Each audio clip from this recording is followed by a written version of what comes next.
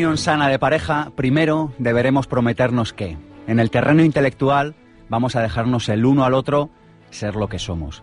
Me caso contigo prometiendo que de ninguna manera intentaré que me imites o que veas el mundo exactamente como yo lo veo. En el terreno emocional reconoceremos que no todos amamos de la misma manera. No nos someteremos a la tortura de querernos unir de un modo que no sea el nuestro. En el terreno sexual comprenderemos que el encuentro de nuestros cuerpos es un placer que debe ser explorado y desarrollado. La verdadera clave de una descendencia feliz es el goce con el que la engendramos. En el terreno material compartiremos un espacio, pero no nos permitiremos también tener un territorio personal, con la promesa de no invadir nunca el del otro, respetando nuestra necesidad de soledad. Igualmente tendremos algún dinero común, pero conversaremos y conversaremos celosamente acerca de cómo mantener una independencia económica. Este es un extracto del libro Cabaret Místico, un libro fascinante de Alejandro Jodorowsky que les recomiendo, lleno de perlas de sabiduría y donde les propone un contrato a las parejas. Esto que he leído es solamente un pequeño extracto. Hoy en Pensamiento Positivo hablamos de triunfar en el amor. Suena bien, ¿verdad? Reflexionaremos sobre cómo hacer para disfrutar de una sana relación de pareja. Y sobre todo sobre qué hacer para no caer en un estado de despido interior dentro de la pareja. Mi nombre es Sergio Fernández y esto, ya lo saben, esto es mucho más que un programa de radio. Esto es una tribu y su nombre es Pensamiento Positivo. Pensamiento Positivo, el programa de ABC. Radio sobre desarrollo personal. Sergio Fernández.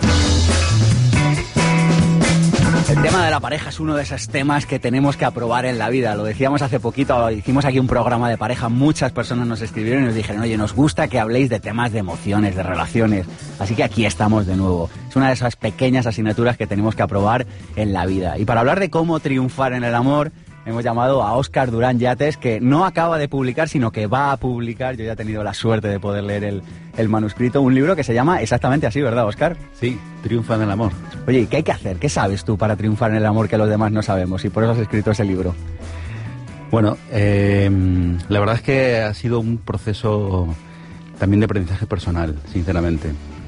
Y ha sido gracias también a, los procesos de coaching que he realizado a lo largo de estos últimos años con clientes y me daba cuenta que había habían cosas muy comunes ¿no? en todas las relaciones, en todas las personas y principalmente eh, la ruptura de las expectativas es lo que termina ocasionando una desilusión porque entramos en una relación pensando que vamos a encontrar ciertas cosas y justamente aquello, aquello que esperamos encontrar justamente eh, lo que no solemos encontrar porque es una lección que necesitamos aprender.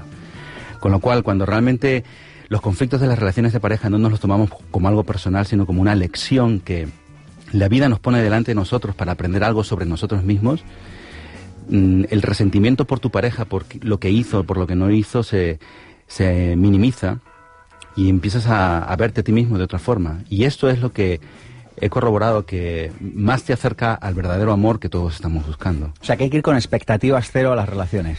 Principalmente, sí. O si vas con expectativas, sabiendo que en cualquier momento se van a romper y esa ruptura de expectativas es simplemente el paso siguiente para aprender más sobre ti.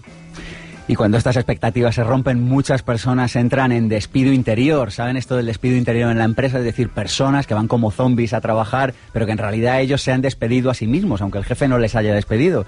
Y parece, Lucía, ¿verdad?, que es nuestra siguiente invitada de hoy, que hay muchísimas personas que están viviendo en despido interior en la pareja. Se han despedido ya de la pareja.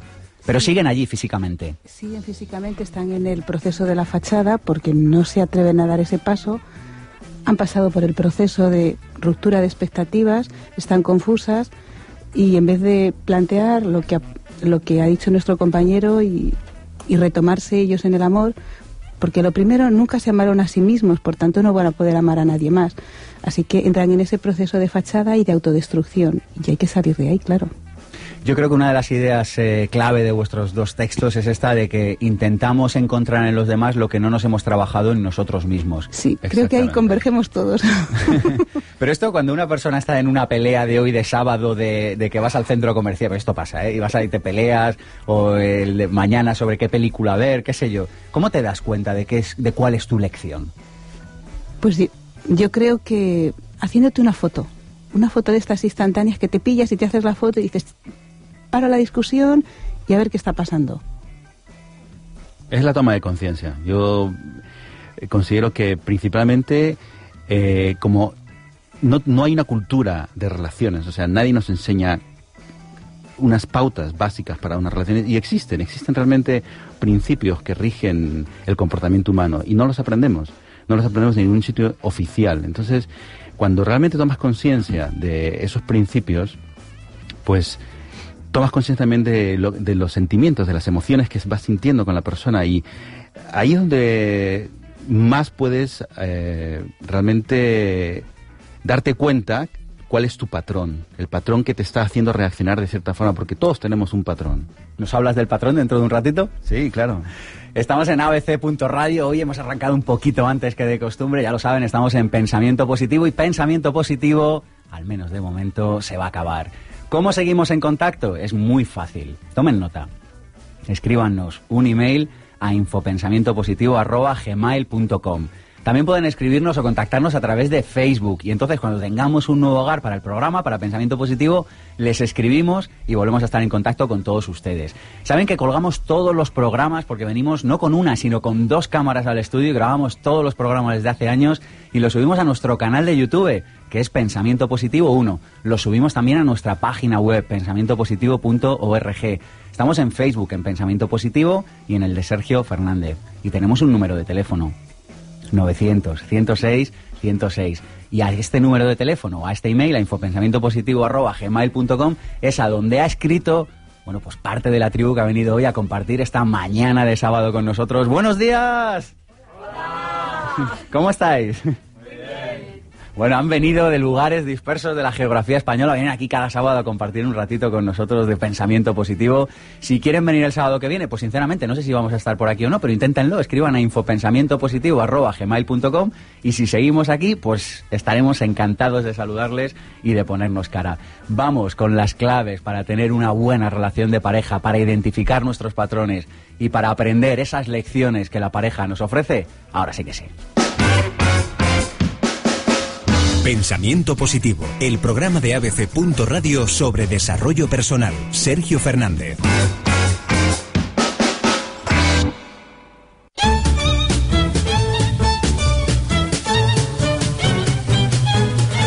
Dice Oscar Durán Yates en su libro Triunfa en el amor que para triunfar en el amor hay tres obstáculos que superar. Obstáculo 1. Tus padres te pasan tus carencias propias y te generan las tuyas. Dice que sea de esta forma es inevitable, simplemente es parte del juego de una vida que es perfecta. Pero hay una solución y es sana las percepciones que tienes con tus padres. Ahora hablaremos de ello. Habla de un obstáculo 2. Fíjense qué bonito, negar tu divinidad. Dice que cada vez que dices yo no soy así, fomentas tus carencias, porque en tu divinidad se incluye todo, mientras que al pensar y sentir yo no soy así, ensalzas una imperfección que se niega y que está negando tu verdadera divinidad. Acepta tu sombra, porque sin tu sombra no puedes reconocer tu amor. La solución cambia tu punto de vista. En lugar de afirmar yo no soy así, pregúntate de qué forma yo también me comporto así. Y Oscar habla también de un obstáculo número 3. Dice querer tener la razón de que te faltó un padre o una madre. Y habla de que cuando sentimos esta carencia, lo que estamos haciendo en realidad es negar una parte de nuestra vida. Hablaremos también de, con Oscar de este asunto que me parece muy interesante en unos segunditos. Arrancamos la entrevista con Oscar ahora mismo.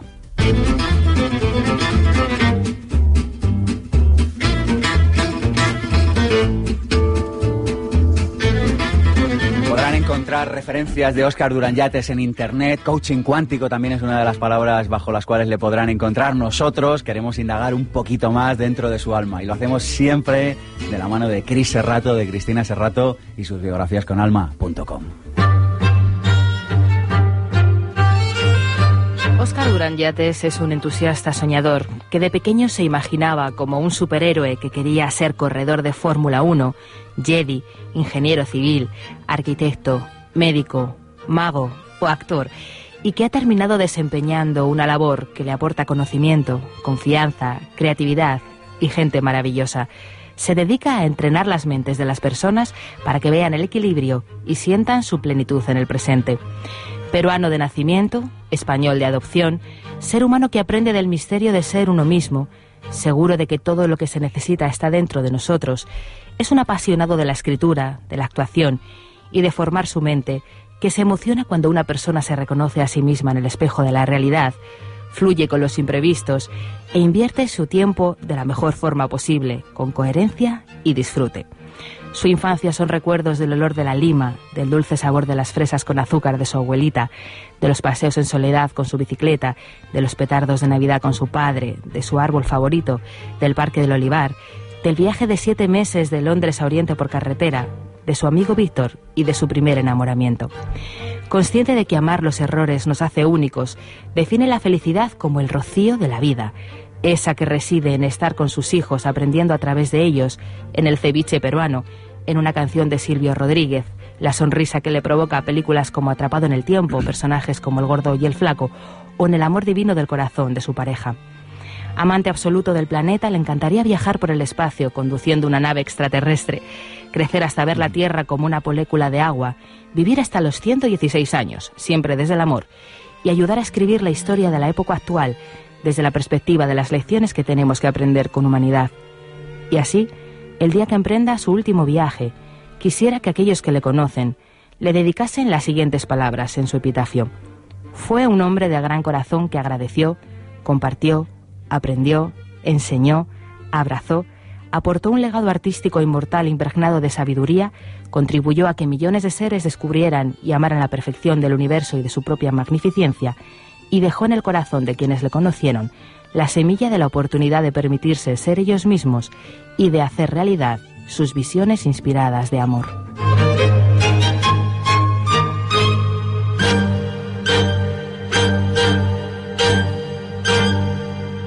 Pensamiento positivo.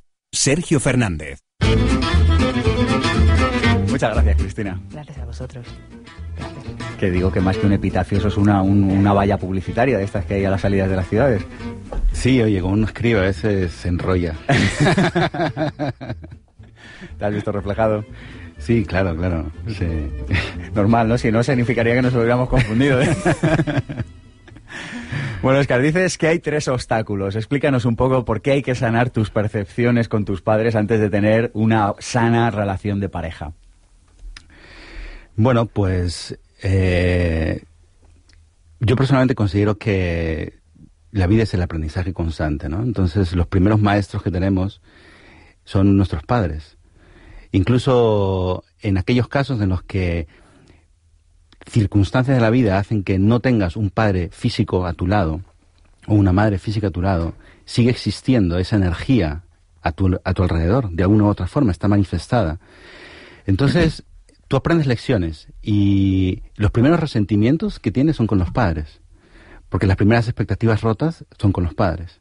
Entonces todo eso, que aparentemente, todas esas vivencias que aparentemente pueden parecer un error, en el fondo lo que yo he observado es que contienen el gran regalo para la vida de ese ser humano. Crecemos con la idea de que en nuestra infancia hubo carencias, hubo ausencias, y realmente el, juego de la vida consiste en descubrir que eso que tú percibes que, te faltó no te faltó, que siempre estuvo a tu lado. Entonces, cuando entramos en una relación de pareja, lo que primero solemos buscar es aquello que percibimos que no tenemos. O sea, entramos a vivir desde una carencia. Y como tal, eso se vuelve contra nosotros de alguna forma. Entonces, Porque le exigimos a la otra persona que nos lo dé. Claro, eh, porque le exigimos que nos lo dé de una forma consciente o inconsciente. Pero ahí es cuando creamos unas expectativas, porque realmente... ¿Puedes poner un ejemplo de esto, Oscar? Sí, mira... Eh, como para que lo entendamos, para bajarlo a tierra. Porque claro, dice, no buscas en la pareja algo que tú no tienes. No sé, vamos a bajarlo a tierra para que, para que nos suene familiar.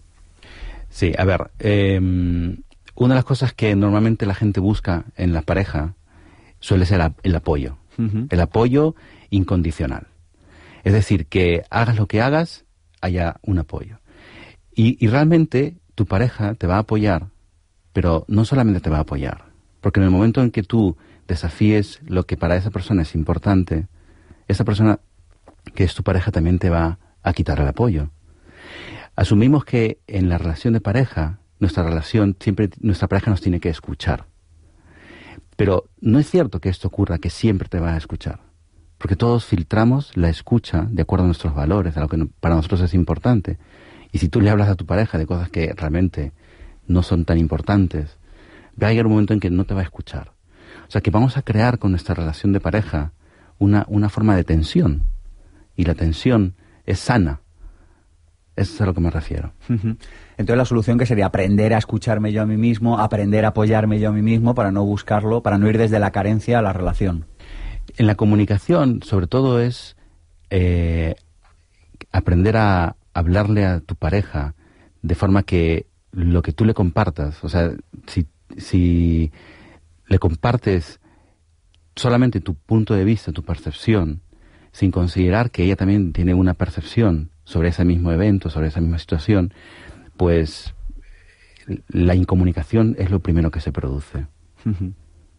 Hoy hablabas de otro obstáculo, hablas de negar tu divinidad. Necesitamos cambiar nuestro punto de vista. ¿En qué consiste esto de negar mi divinidad y cómo eso puede afectar a una relación de pareja?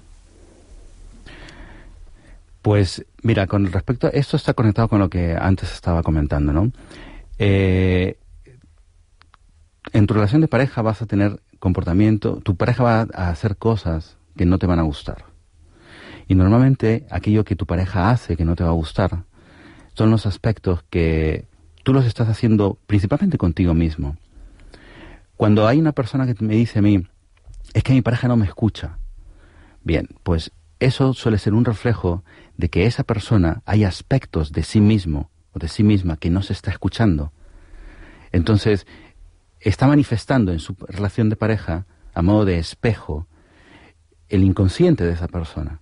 O sea, aquello que todavía no se ha terminado de escuchar, o a lo mejor esas voces que tenemos en nuestro interior, hay unas voces que no estás escuchando, que te están diciendo, a lo mejor, haz esto, haz esto, haz esto, y no estás escuchando.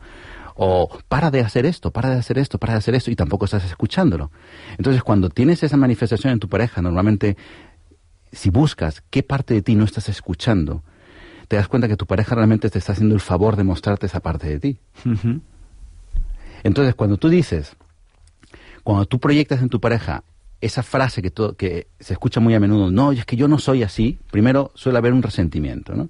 Y cuando dices yo no soy así, no es que no seas así, es que no te has dado cuenta cuándo te estás comportando de esa forma. Si vuelvo al ejemplo anterior de esa parte de ti que no escuchas, o sea, tú estás teniendo internamente esa voz que no estás, o sea, estás teniendo una actitud de no escucha hacia esa voz y a lo mejor esa voz te está diciendo para de eh, comer la tarta de chocolate todas las noches porque te está haciendo daño. ¿no? Entonces, escucha esa voz. Entonces estás teniendo esa actitud con esa voz, o sea, contigo mismo, porque esas voces al final son tuyas. Entonces, yo he visto que contemplar la relación de pareja desde esta perspectiva es muy poderoso porque te, realmente te devuelve a, a la plenitud, porque tú eres todo. Tú eres una persona que escucha y que no escucha. Eres una persona generosa y lo opuesto, que normalmente es egoísta. O sea, somos todo. Nada más que nos comportamos de una manera específica y mostramos estos aspectos de una forma específica, pero no significa que no los tenemos. Entonces, cuando dices yo no soy así, realmente lo que estás es considerando, estás negando una parte de ti. Y si niegas esa parte de ti, tú no puedes abrazar esa parte de ti. Y si no abrazas esa parte de ti, no la puedes amar. Y si tú no amas esa parte de ti, no la va a amar nadie. Tercer obstáculo, querer tener la razón de que te faltó un padre o una madre, o comprensión, o, o compasión, o apoyo, o cualquier aspecto positivo de la vida, es solo una ilusión. Nunca nos faltó nada entonces, nunca faltó nada. En esencia, no nos falta nada. En la forma en la que buscamos ciertas, ciertas cosas, ciertas experiencias, sí podemos asumir que hay una forma de carencia. Esto es quizás uno de los principios más revolucionarios que, que podemos entrenar nuestra mente para ver la realidad desde esta perspectiva. Porque si estamos, si haces un cuestionario, pasas un cuestionario sobre cuáles son las carencias que, que tienes hoy, sí, te enfocas ahí vas a darte cuenta que si me falta esto, me falta esto, todavía no tengo esto, ta, ta, ta, ta, ta, ta, ta, ta. Y desde cierta perspectiva es cierto, pero desde otra perspectiva no es verdad. Porque Explícanos esa otra perspectiva porque estamos todos deseando conocerla. Mm. Mira, eh, cuando por ejemplo hay una carencia de padre o de madre, lo que ocurre en, esa, en ese ser humano es que alrededor de esa persona esa energía del padre o de la madre se manifiesta de otra forma, no se manifiesta a través de su madre biológica física o de un padre biológico físico al lado, sino a lo mejor son tíos, a lo mejor son hermanos mayores, a lo mejor son los padres de amigos, o a lo mejor son los abuelos, o a lo mejor es una mezcla de todo esto, de tal forma que este ser humano, esa energía de padre, la tiene a su alrededor. Y no la tiene con menor intensidad. En intensidad es la misma, pero es, es un descubrimiento que ese ser humano necesita hacer. Porque en el momento en que conecta que esa es la forma en la que ese padre estuvo, esa madre estuvo en su vida, y reconoce cuáles son los beneficios que eso le trajo a su vida, deja de tener la sensación de carencia. Porque la sensación de carencia solo se produce cuando tú comparas lo que tienes hoy o lo que tuviste ayer con un ideal, con algo que no tuviste porque lo tuvo tu, vecino, porque lo tuvo tu primo, porque lo tuvo otra persona. Entonces, cuando hay esa comparación, es donde se genera automáticamente la sensación de carencia. ¿Y esta carencia cómo nos influye en nuestra relación de pareja? Esta sensación de carencia. Pues la forma en la que nos influye es que nos volvemos esclavos de buscar eso que nos faltó. Volvemos a la idea del principio, ¿verdad? Y lo buscamos en la otra lo buscamos en la otra persona. Entonces, ¿cómo se termina rompiendo esta búsqueda? Sí, nos, nos gusta saber eso. Ahora es el momento de decirlo. Sí. pues la forma de, romper esta ilusión de carencia es dándote cuenta cómo realmente eso que tú estás buscando fuera lo tienes tú. Lo tienes tú a través de tu propia personalidad, a través de la forma de comportarte, a través de la persona en quien te has convertido hoy. Porque esa es la forma en la que te conecta con el verdadero amor que estamos buscando. Y ese amor que estamos buscando al final es el amor, el sentirnos amados. Y sentirnos amados, la primera persona que puede realmente mostrarte cuánto amor tienes por ti, eres tú mismo. Sin este paso, que la primera vez que a mí me hablaron de ámate a ti mismo, me sonaba a, algo que sí, pero bueno, ¿cómo puede ser como eso mal, posible? Suena algo raro, porque amarte a ti mismo, pero ¿qué, qué, qué, es esto? ¿no? ¿Qué es esto? Bueno, y es todo un proceso, porque no, no hay una pastillita. Si, si hubiese una pastillita, yo creo que eh, la vida desaparecería como tal, ¿no? Porque el proceso de la vida, tu, tu experiencia vital, justamente te hace pasar por experiencias dolorosas, experiencias placenteras, experiencias dolorosas, experiencias placenteras, experiencias dolorosas, experiencias placenteras, porque de eso se trata la vida.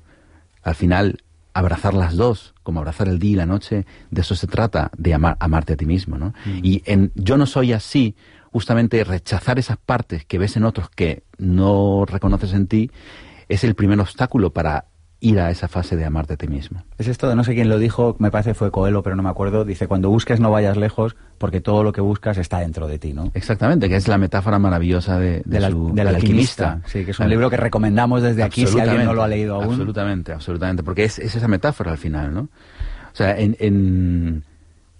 Mira, eh, Ayer estuve en, el seminario de, mente millonaria, ¿no? Y una de las cosas, uno de los ejercicios que había ahí era reconocer cuáles eran las ideas o las creencias que habías tenido en relación al dinero en este caso y cómo te habían condicionado.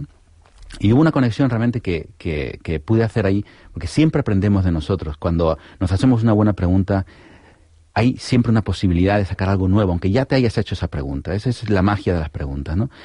Y, realmente, eh, una de las cosas que, que, yo personalmente descubrí ayer, ¿no? Era, vale, sí, había visto en, determinados momentos cómo encerrarme a trabajar eh, era la forma en la que yo asumía que iba a conseguir los resultados que yo quería, y uno de los costes ha sido, al final, dejar de eh, compartir el amor con, las seres, con, seres queridos, porque no les he visto, no les he pasado tanto tiempo con ellos, especialmente con mis hijos cuando eran más pequeños, ¿no? Pero realmente incluso en una, en una situación de este tipo, también hay amor, también hay un acto de amor hacia uno mismo, porque en definitiva las personas, todas las decisiones que vamos tomando, incluso de forma inconsciente, tienen el proceso de guiarnos, de guiarnos para encontrarnos con nosotros mismos. Y al final, el camino que hagamos nos va a regresar a nosotros mismos. Con lo cual, da igual todo lo que recorras, todo lo que vayas, puedes irte al otro lado del planeta. Lo que no hayas amado te lo llevas contigo. Y cuando hayas amado eso, aunque estés en el otro lado del planeta, como de un salto, sientes el amor de todos los seres, de todos los seres de tu alrededor. Hay un tema en relación a esto, Oscar. Hablábamos antes de los patrones, que son esos programas mentales, bueno, quizá inconscientes, que mientras están en ejecución, pues nos condicionan y nos hacen comportarnos como unos esclavos y volver a repetir experiencias una y otra vez.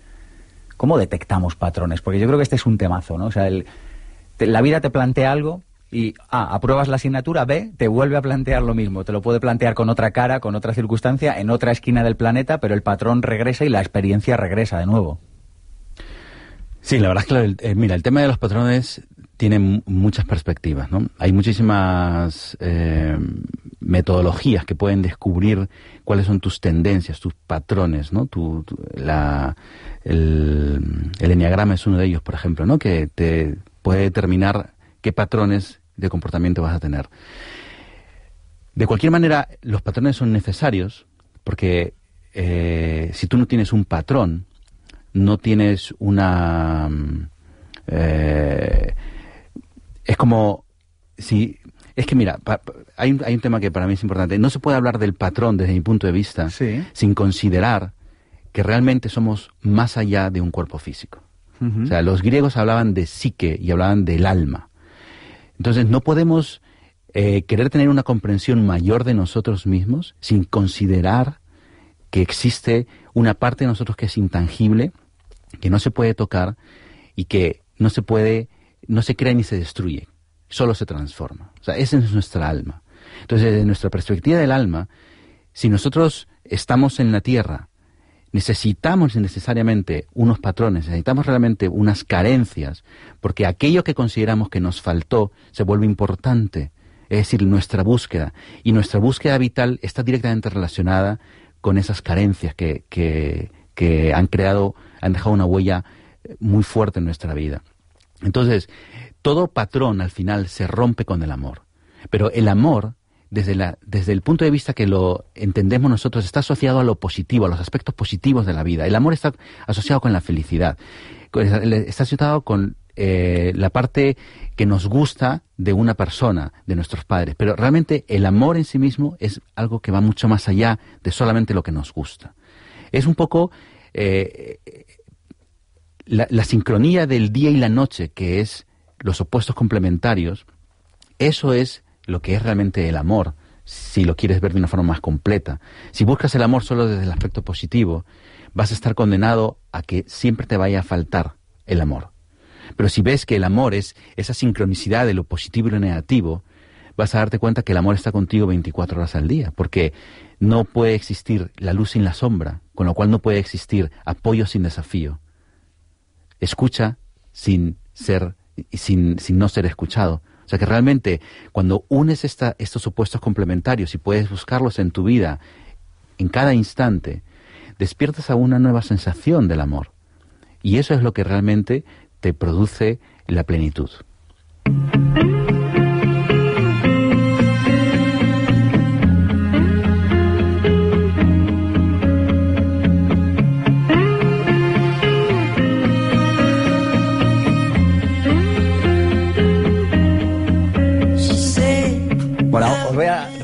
Una serie de frases y, bueno, me dais vuestra opinión. ¿Os parece? ¿Jugamos a esto? Venga. vamos a por ello. Las fantasías que nuestra sociedad nos enseña en nombre del amor están caducas y son la raíz del malestar en las relaciones humanas. Totalmente de acuerdo, nos pasa todos los días, tocando tierra desde el paradigma cuántico que nos ha propuesto Oscar hasta el paradigma tayloriano que vivimos todos los días de máquina, totalmente de acuerdo. Sí, indudablemente, o sea... Oye, pero no, no me digáis que estéis de acuerdo, porque entonces es muy soso, o sea, vale que lo comentéis, ¿sabes? Si es que son muy certeras, es que no hay más. Bueno, dice, ten los ojos muy abiertos antes del matrimonio y medio cerrados después de este, Franklin. antes o después, la conciencia siempre está abierta. Eh, repite la frase, por favor. Porque le he pillado despistado al chaval. Ten los ojos muy abiertos antes del matrimonio y medio cerrados después de este. Bueno, la verdad es que no, no termino de pillar la profundidad de la frase. Da igual, pasamos. ¿eh? es imposible no comunicarse. Muy Wallabiz, muy escuela de palo alto. Es imposible no comunicarse. Se la dejo a primero y después voy yo. Sí, es imposible no comunicarse. Veo, que se está gustando el juego. ¿eh? ¿eh? pues yo creo que no. Que la mayoría de los fracasos de pareja empiezan por la no comunicación, primero con uno mismo y después con el otro. Cuando alguien tiene la suerte de oír frecuentemente cosas agradables de su pareja y corresponde, es difícil que caiga en un despido interior en la pareja. No, yo no estoy de acuerdo. El despido interior eh, no está más basado en la pareja, sino en uno mismo. Uno se predispone a tener parejas y empezar el proceso del despido interior. Em, me pillas que no te puedo comentar. no les ha gustado mucho el juego. Les voy a proponer otro juego diferente ahora. Todo aquello que no hayas agradecido del pasado lo volverás a tener delante de ti a modo de una nueva oportunidad para aprender lo que aún no aprendiste.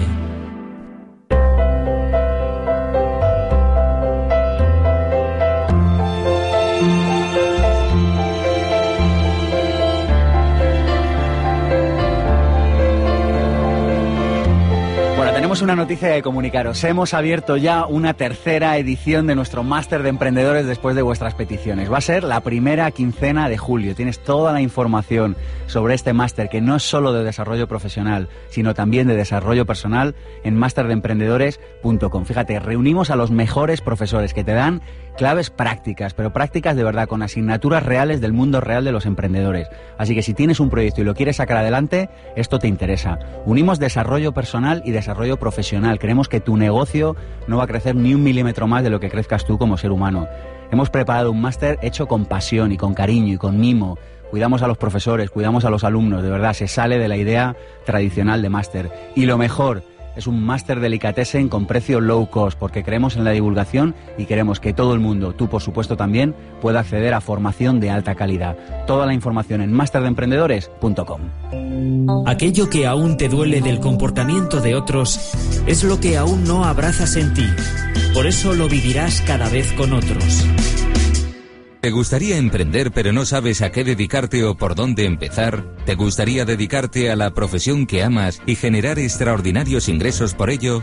Existen soluciones para tus problemas laborales. Apúntate al seminario intensivo Vivir sin jefe y las conocerás. Aprenderás a conseguir tus objetivos y saldrás con herramientas que funcionan. Superarás las limitaciones que han frenado tu vida y conseguirás resultados. Seminario Vivir sin jefe, impartido por Sergio Fernández. Madrid, 23 y 24 de marzo. Más información en pensamientopositivo.org. Lo esencial es invisible a los ojos. Solo es visible con el corazón. El principito.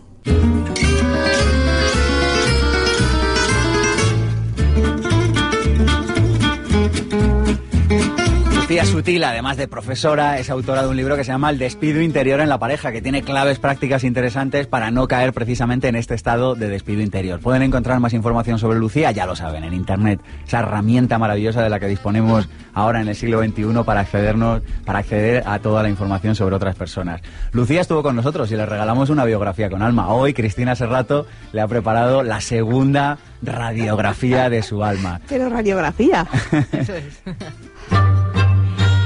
Lucía Sutil es una empática y serena investigadora de la mente, cuya idea de felicidad reside en vivir el momento presente como si fuera el último de su vida. Docente, escritora, coach, buscadora del lado luminoso del amor, investigadora del dolor, de los mensajes subliminales y de las claves de la afectividad femenina, le gustaría ser un caballero de la mesa redonda de la corte del rey Arturo, poder cambiar el nivel del amor en el mundo y entregar aún más a los demás. No tiene apegos a las posesiones, le encanta la física cuántica, su mayor logro es vivir consciente. La frase que más usa es, me alegro. Tiene como referente el doctor Darío Salas y admira la feminidad de las mujeres, la honestidad de los hombres y la apertura mental que tienen algunas personas. Apasionada de la vida, soñadora de pies en la tierra, le gustaría dejar este mundo de una forma consciente y regresar al planeta siendo de nuevo un ser humano que aprenda, disfrute, experimente y con un alma bella que aporte a los demás felicidad e ilusión.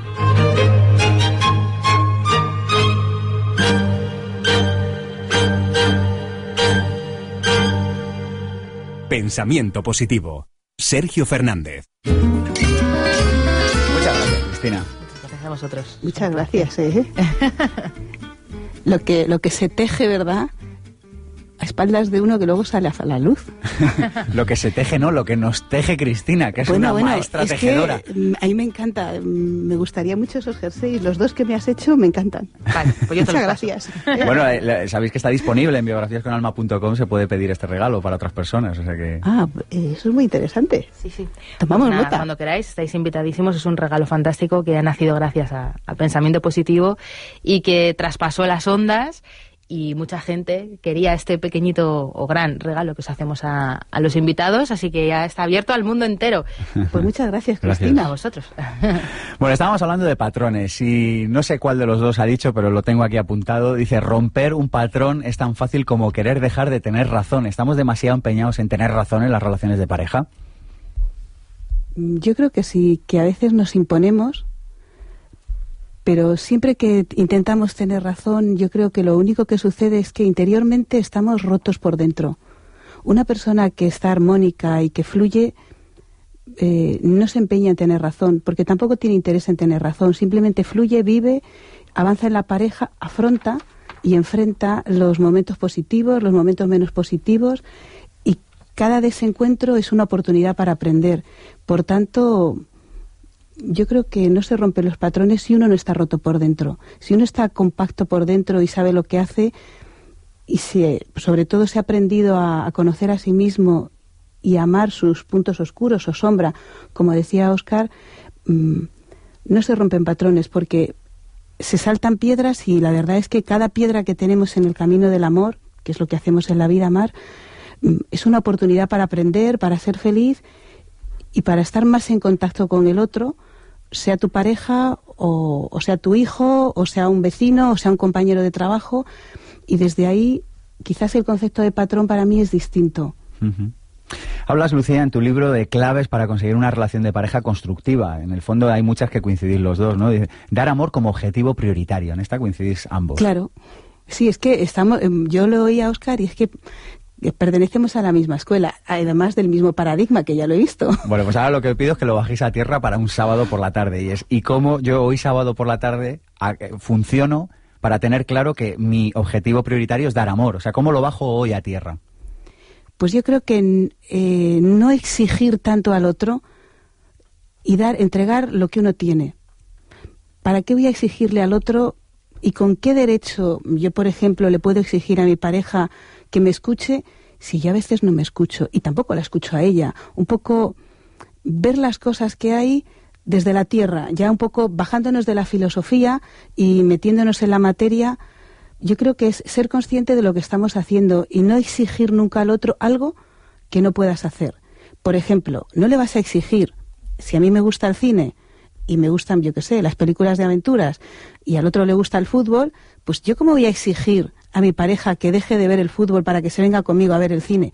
Pues lo lógico es que en buena armonía yo me vaya a ver la película de cine y él se vaya a ver el fútbol. Y después nos encontremos, preparemos una cena exquisita y disfrutemos y compartamos pues su ganancia o su pérdida del partido de su equipo favorito y mi película tranquilamente. Yo creo que cosas así cotidianas es estar abiertos a la realidad cotidiana y no imponerse al otro sus gustos, sus fantasías, sus expectativas, etcétera, sino respetar al otro tal cual es, porque yo también me respeto a mí mismo y desde ahí eh, puede haber situaciones tensas y de desencuentro, pero son oportunidades para aprender y para volverse a encontrar.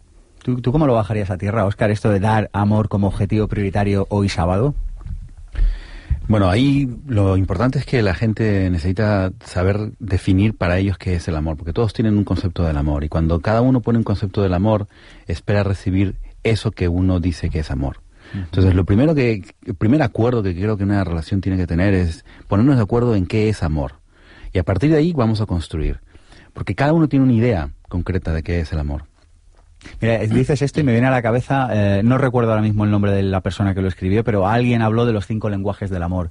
Y hablaba de que las personas damos y entendemos el amor en cinco lenguajes diferentes, lo verbal, los regalos. Y yo creo que a veces ponerse de acuerdo en qué lenguaje estamos hablando, ¿no? Porque si alguien te habla del lenguaje de los regalos, pero es un lenguaje que tú no entiendes, ¿cómo te hablan en chino, no? No, verdaderamente no eres capaz de recibirlo, ¿no? Claro, claro. Y al final buscamos, la esencia del amor es la misma. Eso lo tengo clarísimo después de, de, no sé, mi, propia experiencia y lo, lo que he trabajado como coach. La esencia del amor es la misma para todos. pero la forma es lo que cambia. Entonces, ponerse de acuerdo en lo que tú esperas de mí para que tú te sientas amado por mí es una cosa que es muy útil. Oye, otra de las claves es confianza. Darnos alguna clave para bajarlo hoy de nuevo a tierra, hoy sábado. O sea, ¿cómo puedo trabajar la confianza hoy? Pues claro, hablamos de confianza y, sí, haces un brindis al sol, pero oye, ¿y en el día a día? Yo te diría que en el día a día yo no puedo confiar en nadie si no confío primero en mí incondicionalmente. Así de sencillo. Y en la vida, en el proceso natural de la vida. Yo añadido a, lo que dice Lucía, porque eh, creemos que las circunstancias que estamos viviendo hoy, por las razones que sean, pueden ser una desgracia, una no sé qué, una no sé cuánto. Pero si realmente confiamos en que hay una lección ahí y nos ponemos a la búsqueda de esa lección, la encontramos y esa es confianza en la vida, porque has llegado ahí por tus decisiones, no has llegado ahí porque nadie te trajo, llegaste ahí porque decidiste, de una forma consciente o inconsciente. Entonces, ese proceso de confianza natural también en la vida es muy importante. Sería esto de que lo que sucede es siempre lo mejor. Sí. Sí. sí. Rehacer la pareja cada día. ¿Y por dónde arranco por, para rehacer la pareja hoy? Yo es que eso de rehacer no me gusta. Yo es seguir construyendo yo sigo construyendo todos los días y cada minuto de mi vida la relación. Venga, darnos un tip, darnos un consejo, va, para hoy, para, para reconstruir hoy, para volver a construir hoy. Eso me gusta más. Pues eh, estar abiertos a cada cosa que pase, cada situación, compartirla y de nuevo nos volvemos a repetir, aprender y ver qué consecuencias tiene. A veces analizar las consecuencias de mis actos hoy, cómo pueden repercutir en mañana. Bueno, pues lo que se llama la famosa ley del universo, ¿no? De acción-reacción. De la causa y el efecto. Exactamente. Después de una discusión, después de un malentendido, mm, yo recomiendo silencio, autoanálisis, verte en ese espejo de tu ¿Cuánto pareja. tiempo de silencio? Ah, poquito, sé, el que necesites, pero pueden ser 24 horas es suficiente, ¿sabes? O pueden ser media hora es suficiente. De lo que necesites, necesitas más, necesitas menos, pero darte cuenta que realmente lo que está pasando no es tan importante. No es tan importante. hay, algo más. Esto también pasará, ¿no? A mí esa es una frase que me da mucha calma. Me parece Esto también pasará. También pasará, exactamente. Oye, hay una metáfora, Oscar, me estoy acordando la segunda dices esto, que me gustaría que, nos contaras. Hay una metáfora en tu libro que me ha gustado, es la metáfora del supermercado. Ah. La vida es un supermercado, entonces nosotros entramos y buscamos experiencias, como si entramos a buscar una lechuga o un paquete de manzanas. Exacto.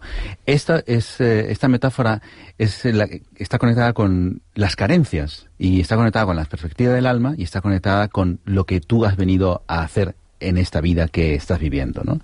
Entonces, eh, para mí es una forma muy bella de explicar esa parte dolorosa de la vida. Porque esa parte dolorosa de la vida, cuando la trasciendes, es la que mayores regalos le trae a cada ser humano. Con lo cual, nos pasamos la vida rechazando el dolor cuando realmente podemos aprender a amar esa parte de la vida que es tan valiosa sin la cual no tendría ninguna razón de ser el placer. O sea, están unidos. Entonces, esa metáfora realmente la comparto porque considero que, mira, la, experiencia que yo he tenido desde, desde la vivencia de la ruptura, me ha hecho inevitablemente querer buscar más allá de lo que hay en esa experiencia, ¿no? Y considero que si, si tú ves, si te ves como un ser humano que está eh, en un gran supermercado, todo lo que estás viviendo allí es parte de las lecciones que has venido a aprender, con lo cual no hay error, hay experiencia, hay aprendizaje, hay crecimiento, y lo que he observado es que a todos los seres humanos esto le gusta. El supermercado. crecer y sentirse pleno. Oye, pues yo en vez de ir al supermercado, me voy a, una, me voy a un parque, ¿eh? casi mejor, que allí tengo todo lo del supermercado, pero de primera mano. es, una, es, una metáfora. me, apunto a la, metáfora del, del bosque. Para triunfar en el amor, amarte a ti es lo primero. Tanto como seas capaz de hacerlo, así serás capaz de amar al hombre o a la mujer que estén a tu lado. Totalmente de acuerdo. Es que hoy, hoy estamos en sintonía, estamos muy armónicos, ¿eh? Qué bien. Totalmente de acuerdo. Sí, es, me suena. ¿Te suena? Escrito, Explícanos, ¿por qué incluyes esto? Bueno, esa es eh, realmente la conclusión del triunfo del amor, ¿no? Triunfar en el amor pasa por ahí. Si no, la gente confunde el enamoramiento con el amor y busca en el enamoramiento todo y ahí solamente está lo positivo. ¿Qué diferencia hay? Uy, fíjate, yo el enamoramiento es que yo pertenezco al campo de las ciencias, ¿sabes? Y yo lo defino siempre, es como un estado alterado de conciencia. Efecto de la fea, fenil, atenil, amina. Y cuando se te pasa el chute de la fea, se termina el enamoramiento. Es un estado mental, bueno, transitorio. Claro, es, lo que digo, es lo que comparto. yo también pienso así. Quizá yo lo expreso menos, bellamente, más, más de tierra, Es un momento transitorio, pero la gente cuando confunde eh, el amor con el enamoramiento es donde crea su gran su gran patología que yo digo la adicción al afecto, la adicción al amor, la adicción al sexo, etcétera. Si es que partimos de la misma base, nuestros libros son muy similares y nuestra experiencia de vida creo que también. Estamos educados culturalmente para que los finales sean felices. Yo digo que son divinos, porque en todo final hay un principio, pero no siempre lo vemos así, porque elegimos poner más atención a la sombra de la felicidad que a la danza de las dos. Comentar... Eh, bueno, eh, considero que la ruptura es parte de, una, de la relación. O sea, esto, suena a titular. La ruptura es parte de la relación. Sí, sí. Realmente creo que es la forma más realista de observar cualquier relación de pareja, porque ese es el final. Ese es el final de cualquier relación. Y, ese es una, y esto, si lo reconocemos como tal, incluso hasta te puedes organizar cómo acabar. Y, y puedes construir la relación con esa perspectiva también. Ahora, también puede ser que construyas una relación de pareja y digas, vale, pues no veo el final. No veo el final. Ok, puede ser también que la muerte sea, la muerte de uno de los dos sea eh, la, que ocasione la ruptura. Pero detrás de cualquier ruptura, detrás de cualquier ruptura, yo considero que hay una gran oportunidad. Solo es cuestión de que la busques. ¿Qué oportunidades habría en las rupturas? Pues mira, en mi experiencia clínica sí que hemos encontrado muchas. A veces la gran oportunidad mayor es ver eh, qué parte de mí me ha atrapado en esa relación y que tengo que desarrollar. Y gracias a esa ruptura yo he podido crecer. Y si nos damos cuenta y hacemos un análisis detallado, en vez de ofuscarnos y, y entrar en estados de salud mental, como yo digo, descolocados, y nos colocamos dentro de nosotros, nos, da, nos abre sinceramente una gran fuerte de oportunidades para ver en todo el camino que nos queda por crecer, en todas aquellas cosas que teníamos que fracasar porque si no, no nos damos cuenta de esos rasgos de nuestro carácter o de nuestras actitudes o de nuestros comportamientos o de nuestras identificaciones que nos están autoagrediendo y por tanto agreden también a la relación. Para mí es algo muy importante la ruptura. El matrimonio es un 97% de conversación. Oscar Wilde. Totalmente de acuerdo. Una relación sin comunicación, yo diría un poquito más. La comunicación es la base de toda la relación de pareja para que fluya. La comunicación con el otro y también entiendo que con uno mismo. Claro, porque si no nos comunicamos cosas a nosotros mismos, también nos quedamos fuera. Mira, comunicarse con el otro es mucho más fácil que comunicarse con uno mismo, porque comunicarse con uno mismo, con esto que tenemos en la cabeza, y run, run, run, run, run, run, a veces nos, no nos entendemos, nos despistamos y nos quedamos enganchados en, esa, en ese proceso automático, inconsciente, que nos está haciendo la vida polvo y no nos podemos comunicar con nuestro auténtico ser. Es cierto, es mucho más fácil comunicarse con el otro que comunicarse con uno mismo.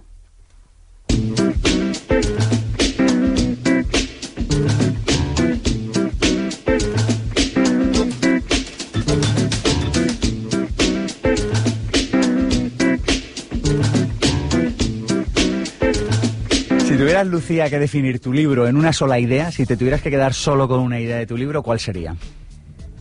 Eh, una sola idea.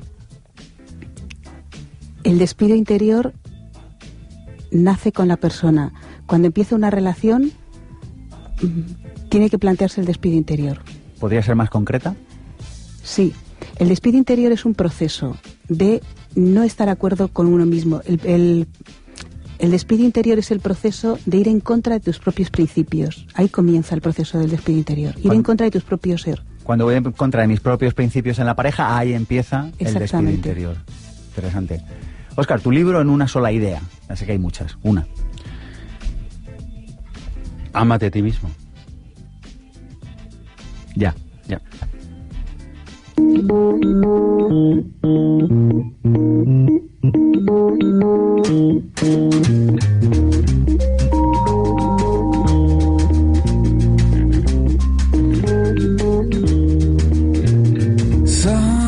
23 y 24 de marzo, seminario intensivo Vivir sin jefe en Madrid. Estamos cerrando plazas ya, no queda prácticamente ninguna plaza, pero alguna queda. Tienes toda la información sobre este seminario en pensamientopositivo.org. ¿Qué te llevas del seminario? Pues te llevas, bueno, las herramientas para generar tu propio plan de marketing, para entender cómo desarrollar una marca personal.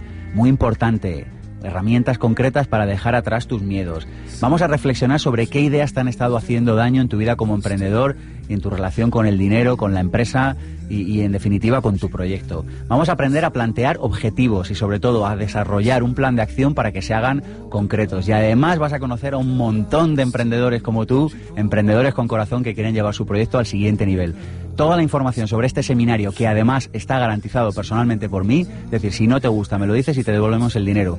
Fíjate si estamos seguros de que lo que hacemos es wow, es alucinante. 23 y 24 de marzo en Madrid, pensamientopositivo.org, toda la información para apuntarse. Pensamiento Positivo es el programa de desarrollo personal y psicología práctica de ABC. Radio, cada sábado de 1 a 2 de la tarde con Sergio Fernández. Recuerda que puedes descargarte los podcasts para escucharnos siempre que quieras en abc.es barra radio, en iTunes y en ivos.com. Y si lo prefieres, puedes vernos posteriormente en nuestro canal de YouTube Pensamiento Positivo 1 y en www.pensamientopositivo.org. Pensamiento Positivo con Sergio Fernández.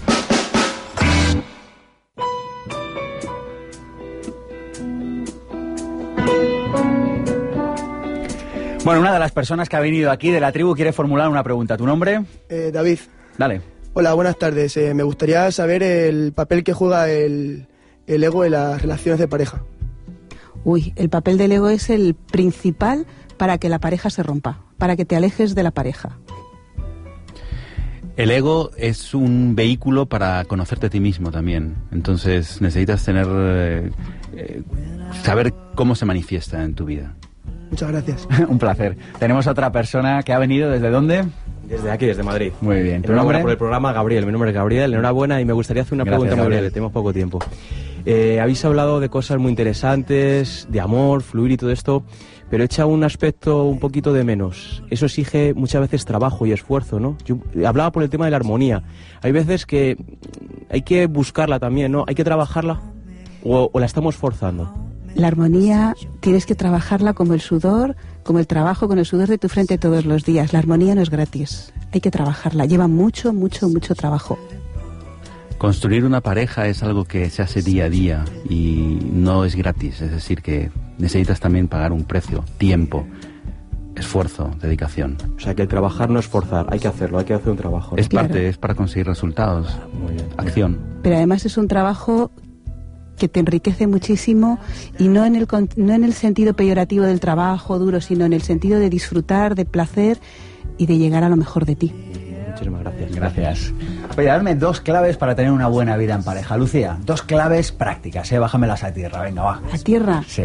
Pues que mira. podamos hacer ya, hoy mismo. Eh, yo creo que ante la bronca más gorda del mundo que tenemos en la pareja, Esto a alguien le interesará por ahí. digo venga. yo, eh, lo primero que nosotros recomendamos, tanto mi compañero como yo, que somos coterapeutas en el despacho, lo primero que recomendamos es que se pare la bronca y sencillamente uno se acerque al otro y se den un abrazo muy fuerte, muy fuerte, muy fuerte. Y después se separen y cada uno reflexione.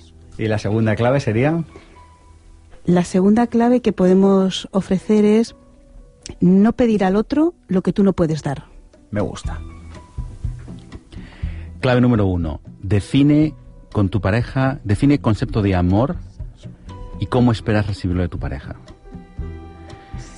Segunda clave, conócete a ti conoce lo que para ti es verdaderamente importante y conoce también lo que es importante para tu pareja. Y empieza una comunicación desde ahí. Incluso por escrito. Sí. Me gusta. Es poco probable que ames tu presente si no has amado tu pasado. Si amas a los dos, eres dueño de tu futuro. La complementariedad resulta de que atraes a alguien que no fallará en tocarte lo que más te duele, porque sólo así podrás completar tu perfección de ti y de tu pasado. Completar significa descubrir el otro lado que no has visto y que por no verlo aún te duele. ¿Te gustaría emprender pero no sabes a qué dedicarte o por dónde empezar? ¿Te gustaría dedicarte a la profesión que amas y generar extraordinarios ingresos por ello?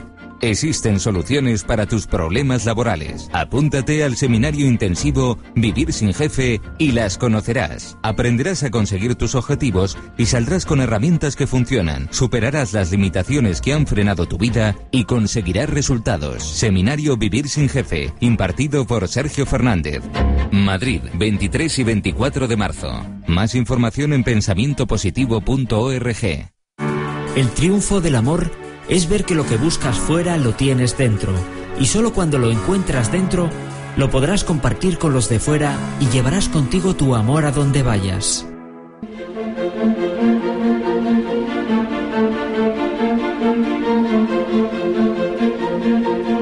Pensamiento positivo. El cierre. Bueno, ha sido un placer teneros por aquí. Oscar, ¿te vienes otro día? Perfecto. Te quiero hacer un regalo. Tú que eres un gran sorprendedor, te he traído un ejemplar para ti. Muchas gracias. ¿Alguna frasecita que nos quieras dejar? Da amor y desapégate del resultado. Qué bien, qué taotequín es eso, cómo me gusta. Lucía, un regalito para ti, un ejemplar del sorprendedor. ¿Alguna frasecita que nos quieras dejar? Sí, yo tengo aquí una regla de oro que recomendamos a la pareja. Buscar los buenos momentos en el día a día. Me gusta. Mi nombre es Sergio Fernández y esto ya lo saben, esto ha sido mucho más que un programa de radio. Esto es una tribu, esto es una forma de estar en el mundo, esto es pensamiento positivo. Les veo por aquí, espero dentro de muy poquito tiempo. Hasta pronto.